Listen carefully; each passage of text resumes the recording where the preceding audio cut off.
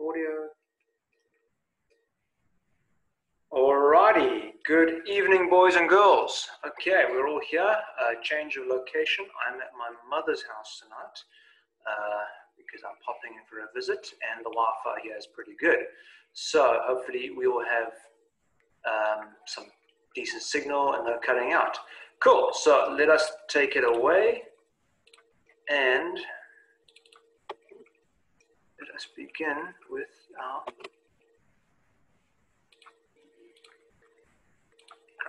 There we go, cool. All right, so taking up from last week, we're working off with ruminants part two, and um, we're gonna miss out on a lot of the stuff we covered last week because I'm not gonna repeat myself, so I'm not gonna explain what ruminants are, what is even-toed ungulate. You heard this all before. If you have any questions, you're welcome to send me a WhatsApp message or just message me during the class. Okay, Cool. So going straight into ruminants, and we were obviously looking forward to talking about antelope. But what are antelope? So the word antelope actually comes from the Greek word anthelops, which was a mythical beast with horns and had flower-like eyes. And the word anthelops actually means flower eyes. So the term antelope is a bit of a, a, taxonomic gray area. It's not a specific taxonomic jargon, like we can say these are carnivores and these are ungulates. Uh, you get some antelopes that are almost not antelope, and you get some goat-like species that almost are antelope. So it's a bit of a gray area, and it's not a definitive taxonomic term. It's like one of those things you can say, you can definitely say that is an antelope and that's not an antelope, but what defines them is challenging. Okay, so um, we're going to be talking specifically about the Bovidae family. We've talked about the, uh, the deers last time, and the bovids are the animals that have true horns. They're the most diverse of all even-toed ungulates, and they are intrinsically linked, or many species intrinsically linked to grassland ecosystems. And most species have preorbital glands. And preorbital glands are these little glands underneath their eyes over here that they would often rub against trees to mark territory. The wildebeest are extremely apparent, easy to notice that these giant pimples underneath their eyes. And they leave this black-like ink when they rub against a tree. So a horn, quite different to what um, antlers are. It's a bony substance as you can see, it's often hollow when it's um, growing, becomes dense with spongy material, and it's covered in a keratinous sheath. So keratin is like your fingernails, similar to what a rhino horn is made out of, what your hair is made of, and it just plates over the bone. So it has uh, quite different in many ways to antlers. So horns have their own benefits, and antlers have their own benefits. One of the benefits of horns is that they actually are a permanent all year round defense. They're not shed like antlers, so the animal's got them in winter or summer. That, of course, comes with its own drawbacks, means you're carrying all this extra weight in winter and in summer. Um, so, if you guys could just put your microphones on mute, I'm going to mute you there. Um, and they also, unlike antlers, more likely to inflict a serious harm on predators. Antlers are more like a battering ram, good for smacking things around, but you're not going to be able to do real damage to a predator. I've seen lions impaled by kudu horns. I've seen buffalo rip open predators with their horns. So they're far more dangerous comparatively. Um, but they're more pinpoint in their attack, whereas antlers are a broad sweeping arc of damage. And um, unlike antlers, the horns are a year-round advertisement of age and status amongst males. So you can see the age of a bull or a ram just judging by the size of his horns, whereas antlers, it's a bit of a gray area. And also the fact that they're permanent, they're built to be permanent, so they're generally more robust. They're not going to break very easily, and they're not going to be uh, shed very easily, or not going to be knocked out of uh, place very easily. So that again comes with its own drawbacks because if they break, they're broken. You're not getting it back. Also, if, if, they're damaged earlier in their life, it will affect the growth pattern of, that, of those horns for the entirety of this animal's life. That's why you sometimes see gemsbok with horns growing down or one up, one down, because at some point in their life, those horns are damaged. Okay, so horns are typically carried by the males in mountainous, bush, or forest terrain um, because they're a hindrance. You don't want to be carrying horns if you're living in the bush or if you're living in a forest. They're going to get trapped uh, on branches. They're going to get uh, trapped climbing up hills. They're just a miserable thing to carry around with you. It's like carrying around a giant sword. You don't want to have this thing unnecessarily. Uh, but on the other hand, animals that live in a grassland or more open veld environment, typically the males and females have horns. Also, generally, sorry, the sneezing in the background is a cat. You can hear that. She's got flu, unfortunately. Okay. So typically in, uh, in animals that have grassland environments, they, uh, the males and females have horns. Also with larger species, the females often have horns as well. But this is not a universal rule. There are always exceptions to rules in nature. So uh, what is a horn? As we discussed, it's bony extensions of the skull coated in a keratinous sheath. They cannot be shed and most continue to grow throughout the adult's lifetime. It's one of the reasons why we can tell the age of an animal when looking at the horns from far away. And they play a role in defense, competition, and sexual selection. People always seem to forget about this, but the girls make the decisions about the boys, and the size of the horns or antlers are often, in many cases, extremely important for who she chooses. And horns, unlike antlers, have a single tip and they don't branch unless they're damaged. Right? You do get exceptions, but that's not a natural growth pattern. So there are different types of horn types. There's a spiral, like a kudu, twisted, which would be more like um, some of the goat species, fluted, like the impala over here, and spiked, like duikers, small little spikes. So those are your four basic types, and there are, of course, variances amongst the four major types as well. So within the family Bovidae, there are the Bovinae, which are the true bovids, if you want to call them. They're the largest of the bovis species. They're found throughout the world, throughout Africa, Eurasia, and North America. And they're divided into three tribes. Remember, tribes being a loose taxonomic association where we're not exactly sure where the animals fit. We know that they're cousins, but the exact organization is still kind of blurry because the genetics haven't been worked out. So we can say he's maybe a first or second cousin, but um, kind of a gray area. So the Tragelaphini, as we all know from South Africa, are the spiral horn antelope. They're endemic to sub-Saharan Africa. You don't get them anywhere else in the world. Yay us. And most species have distinct white barring down the body, okay, to greater or less extent, even the eland do. And there are two genera, genera and there are 10 species. I'm not going to go through all the species. You know, kudus, inyala, bushbucks, satungas, um, bongos from East Africa, and there's various other species. The eland is the, the largest of these guys, the kudu coming in second place. Okay, and those are the two, Taurotragus and Taurogalaphus are the two genuses. So the bovines, which are the bovini, um, arguably probably the most important animal on the planet besides humans. So they are widespread across the world. Numerous species have been domesticated independently and they're medium to large bovines. There are five genera, five genuses, 14 species, and eight of these species are fully domestic. So we've bred eight species into existence. Okay, they never existed in nature before, and we created these species. Pretty cool stuff. Um, and of domestic cattle, there are 193 recognized domestic breeds of cattle. That's a lot. In fact, it's probably more than dogs as far as I know. So the bovini are broken up into various groups, uh, various genuses. I'm not going to go through all of them, but um, try to give examples of one of each. The saola, which is critically endangered, only um, known in the last century, limited to a small population of a couple hundred individuals from Vietnam. And um, beautiful, one of the few bovinis that have straight horns as opposed to curved horns. The water buffalo from Asia, uh, been independently domesticated, not closely related to domestic cattle. The gaur, which is the largest bovine on earth, topping out at about 1,200 kilograms. Our African buffalo got nothing on that, 850 to 900 by contrast. So the gaur is much bigger, but not as aggressive, but still counts for a lot of injuries every year in India and Southeast Asia. The American bison, which is roughly the same size as our antelope, sorry, as our buffalo, but uh, due to hunting um, and, and, culling processes, they're not quite as big as they used to be, and individuals now are around 600. But every now and again, you do get an individual popping out about eight or 900 kilograms. And then, of course, the African buffalo, which comes in four different subspecies. One of the things that people don't know about is that there was actually another species of buffalo in Africa until fairly recently, the longhorn buffalo and he ranged from East Africa down to the Cape, and they went extinct around 12,000 years ago. And these guys are still, they've got paintings of these in the Bushman caves. If you go down to the Western Cape and into the Drakensberg mountain range, you'll still find paintings of longhorn buffalo. They, many uh, anthropologists and paleontologists also believe they may have been around as long as 4,000 years ago. So just the other day, that was after the, the pyramids of Egypt were built.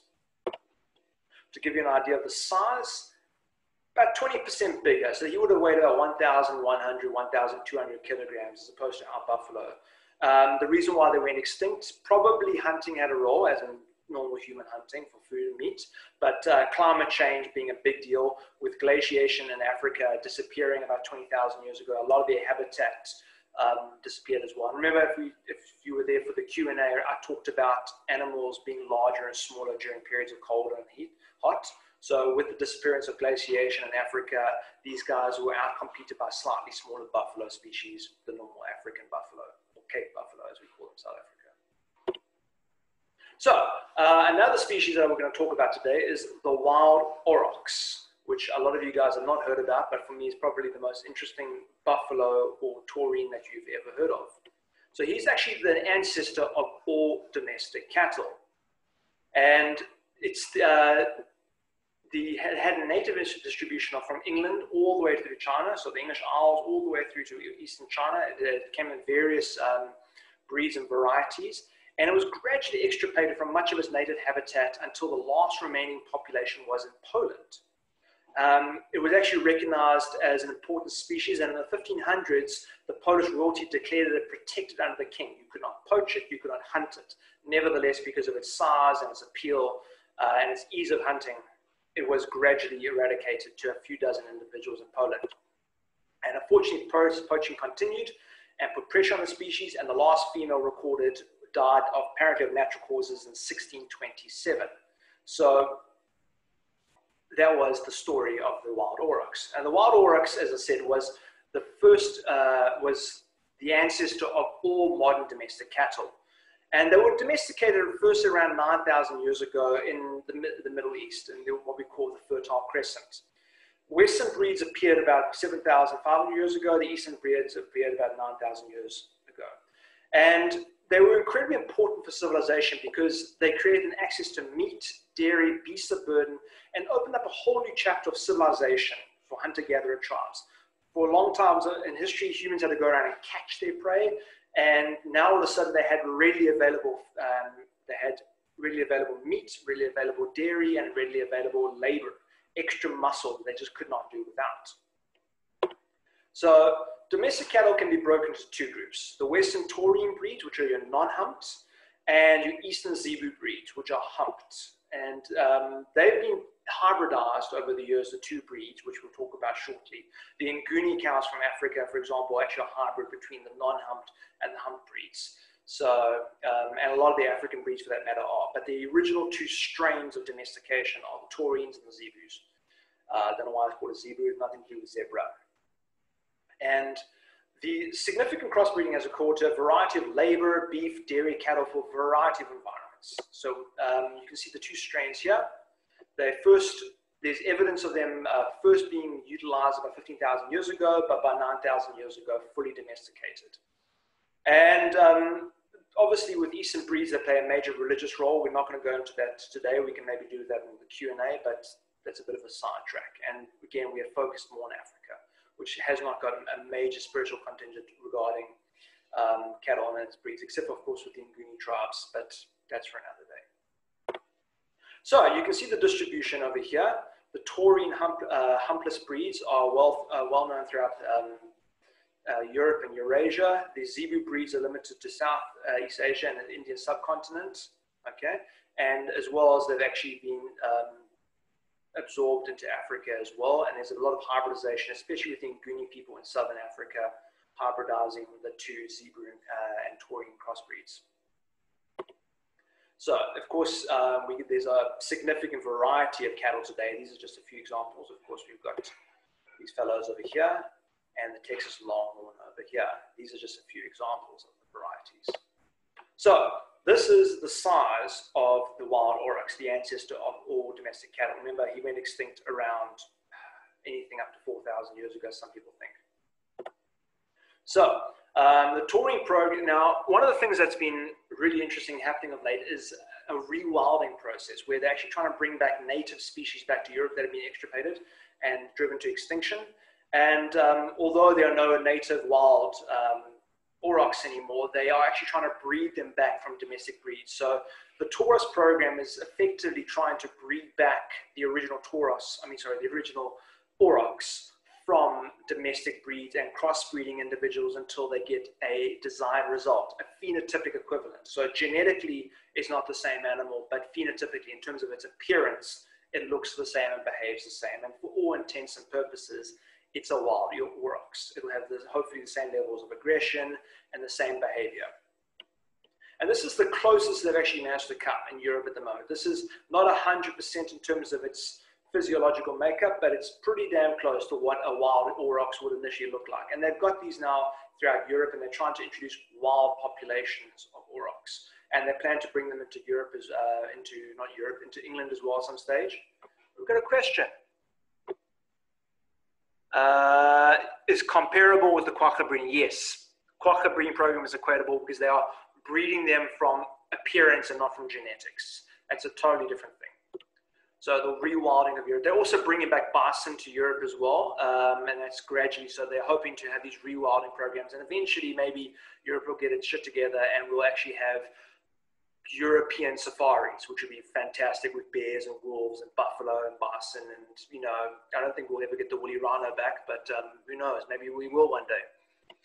Okay, and then of course the Uruz project, which is actually trying to use cloning technology to bring back the, the wild aurochs. So there's a, there's a program for breeding and there's also a program for genetics and there's kind of a race between the two.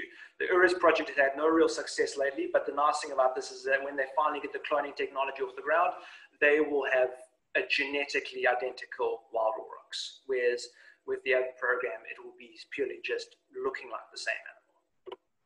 Okay, so dairy. Uh, dairy, if you're a vegan, of course, is a contentious issue. Vegetarians, not so much, well, then even still. But um, I like dairy. I think most of us do. And most mammals lose the ability to digest dairy after a certain age. And the reason for this is pretty simple. It's an evolutionary mechanism to wean us off their mothers and develop, develop independence. If you're constantly nursing off your mother's milk, you're never going to be independent. So you develop this resistance to dairy. Your body loses ability to digest it, and you're weaned off the mother. And you have to go get your food from somewhere else. And certain groups of humans have recently evolved an ability to process dairy to greater or lesser degrees. We don't all have an ability to process dairy, depending on where you come from in the world and your genetic background uh, dating back several, several thousand years, you have greater or lesser um, ability to digest dairy. When I was in China, practically everyone was lactose intolerant because they had their, in terms of their cultural upbringing, they never used dairy as a component in their diet and it never appeared in the gene pool, the, the ability to process dairy. So most Chinese and most Japanese for that matter, in fact, most, most Asians have a very low tolerance for dairy. Mongolians are one of the few that actually can. And here's actually a chart that you can see throughout the world. Um, and this is simply linking back to the, the, the, dependence on dairy. Russia, very few people, almost 1 to 20% of their population is uh, lactose intolerant. Europe, 20 to 40%. America and Canada, comparable. South America, simply because they never domesticated cattle, have no um, reliance on, on or no ability to, to, to process lactose. Africa, very low. So especially Southern Africa, it was mostly for meat where dairy really never played a role culture. In Asia as well, as you can see over here, almost no um, cultural utilization of dairy. So they just never use it. And the reason why Australia is so high is simply because of the European population that's settled in Australia, which makes up the dominant population. I know white people in Africa have got a very hard resistance to dairy. Black people comparatively do not. Uh, and that's simply just because of thousands of years of, sexual, uh, of selective pressures. And the way it works is very simple. You have an individual, and he might have an ability to do something. It's, let's just say he's got a 50% ability, and we'll go with 0, 50, uh, we'll go with 0, 50, and 75% ability. Um, and he produces three children. The one that has absolutely no ability to process dairy will not be able to compete with his siblings because he's not able to digest that milk and he doesn't get the same amount of nutrients and gradually his gene pool will, be, will die out. Individual number two, he will continue to breed, but of his siblings, that, of his children that he produces, the siblings that are more capable of digesting dairy will continue to thrive in the gene pool, and the individuals that are not able to digest dairy will gradually be weaned out because they're not capable of competing with their siblings. They can't get the same amount of nutrients. I can get an extra 300 calories a day, my sibling can't. I'm just going to be better over him over 20 years. And then all my kids are just going to do better because they're all capable of digesting something that my other family members can't, and I will outcompete them. Um, and same for this individual over here, you can see greater dependency, and over time, simply his children will develop 100% ability to digest dairy, and he will continue to thrive indefinitely as well. And eventually, in gene pools, even Group B will be outcompeted by Group A. That's why in certain parts of Europe, the entire population is lactose tolerant. But in other parts of the world where they've never actually been exposed to dairy, these resistances have never really evolved. So there was no pressure on them. Remember, you need to have the natural variable to actually put pressure on it, and in which turn actually individuals are then selected by the environment. Without the pressure, it never pitches up. So in Asia, there was no cultural pressure for using dairy, so that's why Asians don't have any, uh, don't have a lactose tolerance. In Europe, uh, there was a very much an intense uh, uh, dairy-based culture, so individuals that could process dairy gradually dominated the gene pool over thousands of years. So bovines are very important. Um, if any of you do grass grassland ecology, I'm sure I don't have to tell you half of this, but we'll go into some basics.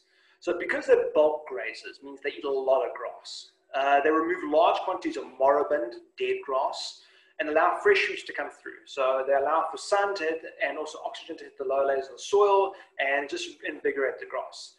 A lot of grass species also require browsing and grazing, sorry, grazing, to be stimulated in order to grow. Without the grazing, they don't grow. So a lot of these grass species require grazing in order to thrive.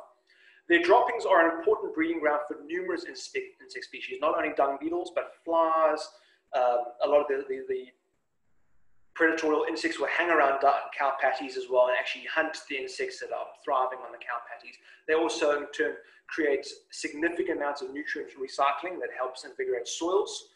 And again, simply their weight and their mass reduces soil compaction, like reindeer in, in, in parts, of, in parts of Eurasia and North America simply by walking through large numbers and trampling the earth, they tear up that soil, breaking up that compaction and make it healthier. Soil penetrates, so water penetrates, air penetrates, and of course seeds can actually find purchase in the soil as well.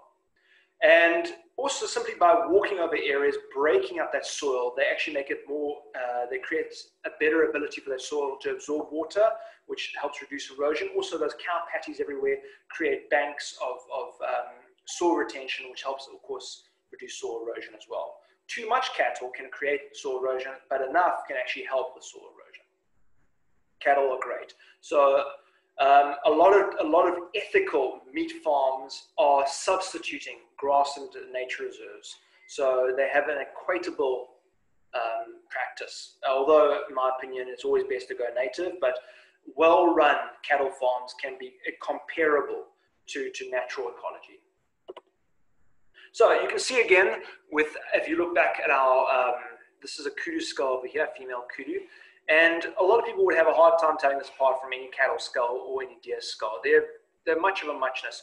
The only thing that you'll really find with a lot of antelope species is that there's a greater emphasis on hearing, so they tend to have larger ears um, with many of the forest species and woodland species compared to deer, who for some reason or another do not have as large ears. But for all intents and purposes, the same rostrum over here, they've got no upper, uh, upper incisors, those heavy, continually growing uh, teeth. The zygomatic process over there is very petite because they don't have that contact with their face and a very robust jaw. One of the things that people also don't realize is that, um, um, what do you call them, um, ungulates, even-toed ungulates can actually chew from side to side. Predators can only chew up and down so they can get that grinding action in, action in their jaws as well. I'm sure you've seen that when they chew the cud. So let's talk about some other antelope. The four-horned antelopes are from the Indian subcontinent, and there are two genera, the nilgai, which is um, unfortunately critically endangered, and the four-horned antelope, which is more mountainous. But the two species, again, because of um, encroachment of forests and then uh, forestry prog programs that are going on, deforestation, their habitats are being eradicated. Nilgais usually hang out on the borders of forests, and because of this, they are easily hunted, and they're quite large in size as well. Four-horned antelope tend to hang out more forested mountainous areas and are a little bit more difficult to be poached, so they are doing better. Okay, so uh, the antilopinae, um, sorry, they're not found in the Americas, and they include various other tribes. It was a bit of a typo I made over here, I apologize. So one of the tribes is the Neotragini, which is a dwarf antelope, and these are limited to the African continent.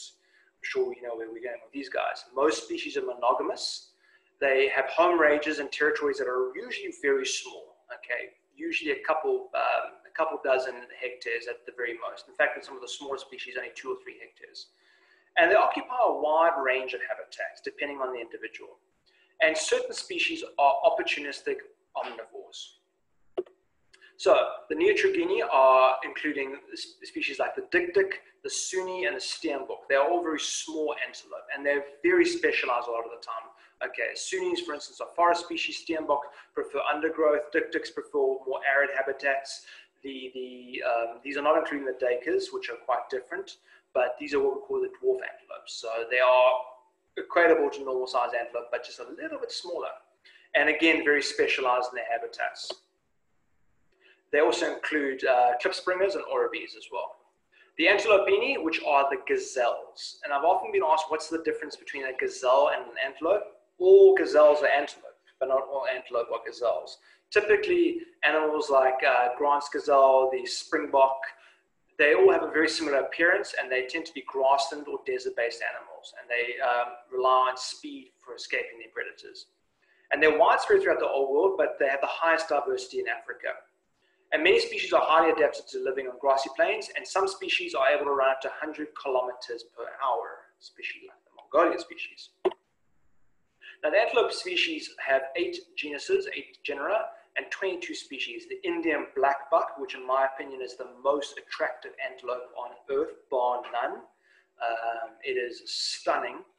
Thomson's gazelle from East Africa, the Mongolian gazelle, I've only ever seen one in my life. They're critically endangered as well extremely fast though. And of course, springboks as we know them as well. And of course, lastly are the Saigini. And these guys are limited to Asia and they're adapted, highly adapted to living on half steppe and desert life. And again, they have two genera um, and only two species, the Tibetan antelope, which is very attractive, and the saiga, which has probably been the inspiration for numerous sci-fi stories, if you look at this fellow over here. And that is an extremely ugly animal. I mean, it's strange looking, but I don't think anyone, it's a face that only a mother could love. So the as you'll see over here, actually has no nasal gate. It's got no rostrum. I mean, that's all cartilaginous structure over their muscle. So it's an extremely weird looking skull and very abnormal in the respect that it um, is specifically adapted to dealing with dust and um, dry air in the desert and also in the steppes, which are extremely dry air places. And it has this really large nasal cavity, which helps it to moisten the air before it gets into its lungs, and it doesn't actually harm the lungs. A lot of those dust particles also can cause abrasion on the lungs. So these animals will want to moisten that air as much as possible in order to actually make it breathable. Also, they are highly reliant on their smell and they have to walk long distances to find herbs and shrubs to live off. So they will need that incredibly powerful sense of smell in order to find their food. But for all other purposes, very similar to all other antelope. I mean, except for that reduced rostrum over there and that really large nasal cavity. Now, the last group we're going to be talking about with these guys, um, with this particular uh, subfamily, are the duikers. And again, they're limited to sub-Saharan Africa. They're divided into two groups, bush and forest duikers. The bush duiker has only got one species, the grey duiker, found throughout southern Africa, uh, sub-Saharan Africa, and forest duikers, which there's dozens of species. And duikers have well-developed preorbital glands. They mark their territories profusely with these glands, and they're also known to be opportunistic omnivores, meaning that they'll actively take baby fledgling birds on the ground, eggs, they'll take insects, small rodents, whatever they can find. So, um, and that's simply just due to the sparsity of food in the environment. And numerous forest plant species actually need duikers to propagate. A lot of the species, especially some of the, the, the, the cannabis family members, have got very small seeds. And cannabis doesn't mean they get high enough. It, uh, for instance, pigeonwood is a cannabis, but it doesn't have any THC in it. So a lot of the can cannabis family members have very small seeds that can actually pass through the rumination process of these antelope and actually have to go through the, the rumination process in order to be germinated or allow them to germinate um, after defecation. So with duikers have been driven out of certain areas and hunted out of certain areas, some forest species are gradually going extinct. The same incidence is actually occurring on Mauritius with dodo species having, with dodos having gone extinct, and a lot of the milkweed species were highly reliant on dodos in order to be propagated. And unfortunately, they now haven't been manually propagated by man because dodos no longer occur on the island for 400 years now. Okay, so the duikers are quite large now. There's 22 species of duiker. I bet you didn't know that. Um, the black duiker, the blue duiker, and the gray duiker are some of the most well-known species. And of course, the wetland antelope, which we all know about, the waterbuck is probably the most well-known. All surviving members are found in Africa, but they were found throughout India and uh, Eurasia as well, up until a few thousand years ago. They have sebaceous glands, which are these oily glands covering the skin, which helps with waterproofing and deterring predators. They lack preorbital glands. They don't mark their territory because they're usually in wet environments. And the females only have two nipples. I'm not sure why, but fun fact. And they also have highly modified hooves for walking on wet surfaces, uh, like marshes and swamps. So one of the things that people don't realize with antelope is that a lot of their mating habits directly link to their environment. So generally specialist species like duikers or klipspringers or oribis are monogamous because they're, they're very low in number. Generalist species like impala are polygynous. They tend to have lots of females with one male. Um, and mating usually only, uh, with mating, it's males are usually take control of a group for a few years and they're usually usurped by a new male simply by having to manage 30 to 40 females and they burn out after two or three years. They don't keep doing it indefinitely. So there's no, with, with the, the polygynous species, there's no real loyalty. With the monogamous species, there's a lot more loyalty. So the Reduncini family include uh, nine different species. The lechwes, pukus, mountain reedbucks, as well as waterbuck. Um, they're all different species. We're not going to go through all of them today. Okay, so these, uh, the impala over here only contains one species. We've got question coming through. How long can a male, uh, again, two to three years, sometimes five years in certain areas for male impalas. Okay, so the impala is probably the most successful antelope of all time. They've remained relatively unchanged for over six million years, with any deviation being inferior to their current design. And there's only need for one species. There's two subspecies, and they're the only species of antelope in southern Africa, outside of Africa, different story, uh, to have metatarsal glands, those glands on the backs of their back legs. So the impala's closest relative is actually the suni, genetically speaking. Okay, so they have a distant ancestor a long, long, long way back.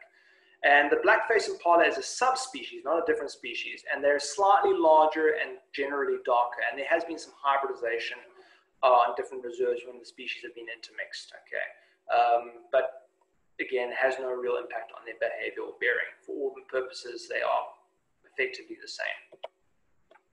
So antelopes also have an important role in ecology. They are critical prey items, for example, and they're often specialist species exploiting niches in a variety of environments, and again, providing predators in those environments with prey. Many are migratory and allow for predator populations to be more dispersed, so they spread predator numbers out rather than concentrating in one area, allowing for greater diversity of predators. Numerous bird species like oxpeckers and, um, and egrets, for example, are reliant on grazing and browsing species for survival. Many species are also important for stimulating growth in shrubs, not only in grasses and shrubs as well. So I'm going to go into the goats, which are kind of weird. And they're widespread across the world. Many species have been hunted to extinction because they're pretty damn easy to hunt and due to their niche habitats. And they're divided into three tribes, the Ovibovini, the Caprini, and the Naemorhedini. Big words. So the Ovibovini are just two species, the musk ox, and they both have pungent scent glands. A lot of people seem to think they're actually, these are cattle, but they're not. They're related to, to goats. And they have these highly developed furs for cold environments. The musk ox, which is limited to Greenland and northern Canada, and the takin, which is limited to the, the, the Himalayas. And they are, again, they're not cattle, they're actually descendants of goats. And the Naemorhedini, which um, have an um, a wide distribution between, between Eurasia and North America, and they're highly adept at living in mountainous terrain. So a lot of your mountain goats are these species. The Himalayan goral, for example, which lives at high altitudes, um, the Chinese Serow, all the Serows tend to live at a slightly lower altitude than Gorals. So they both live on the same mountain ranges. and the, chamois, which is um, found throughout, um, now New Zealand's been introduced, but are historically from the alpine regions. The Caprini, which are true goats, there are 25 species. They all look very similar. The Barbary sheep, the wild goat, the Nubian ibex, the wild sheep, the Nilgiri tahr, and the bharal. So those are all the goat species. Now, goats and sheep, of course, have been domesticated for actually longer than cattle. They've been domesticated for around 11,000 years.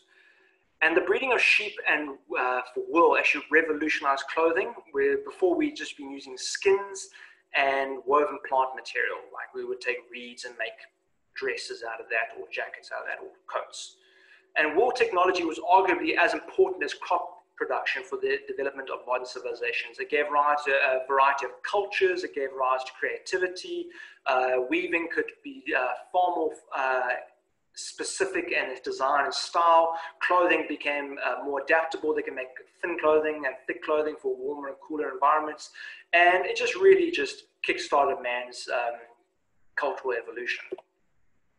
You can see all the same sort of animals came from domestication in the same area. Pigs, sheep, cattle, and goats all came from the domestic, uh, sorry, from the Fertile Crescent in Central Asia around the same period of time, within a 2,000 year period of time. And that was an original sheep, and this is what the sheep look like today. So that is a wild sheep, far cooler if you ask me. And that is a domestic sheep. That is a wild goat, and that is, yikes, a domestic goat. So, horizontal pupils. So, horizontal pupils have evolved in numerous species independently, and these species are all diurnal. It helps with a wider range of view. Uh, it also limits the, the, the, glare from the sun and also helps with judging distances. So these are things you'll notice with all these species. They have generally want to have wide ranges of view. They generally want to have limited impact from the sun, and they all have judging distance as some aspect of their lifestyle. For instance, it's occurred in goats, horses, bet you didn't know that, mongooses as well, diurnal mongooses, not nocturnal mongooses, and of course, vine snakes. Again, for all the same purposes. They want to judge distances. They need wide ranges of view, whether they're prey items or predator items. They're either jumping long distances or striking long distances, um, especially with vine snakes that jump from tree to tree. So equatable lifestyles lead to equatable um, uh, phys uh, physiological appearances in their bodies. Okay, so guys, we're going to stop for tonight because we're actually running out of time. I didn't realize this class would go on as long as we would. We will continue tomorrow. The class is fully prepared, so I'll send you an invitation for tomorrow night. And we've got another 20, 30 minutes tomorrow night of continued talks. So apologies for that. I hope you enjoyed it. Um, we're going to be logging off. So thank you very much. I will see you guys tomorrow. I can figure out how to use this thing. So, auf Wiedersehen, adios.